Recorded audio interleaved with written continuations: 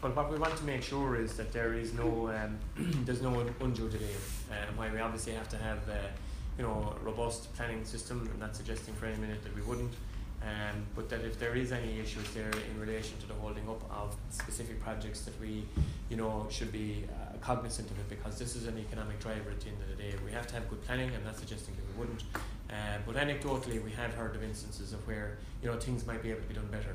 Uh, and that's why the discussion that we're having at the moment in relation to the Irish Hotels Federation, the banks, Dublin City Council will be done after Christmas, and the Department of Planning and Local Government and Housing will also be after Christmas.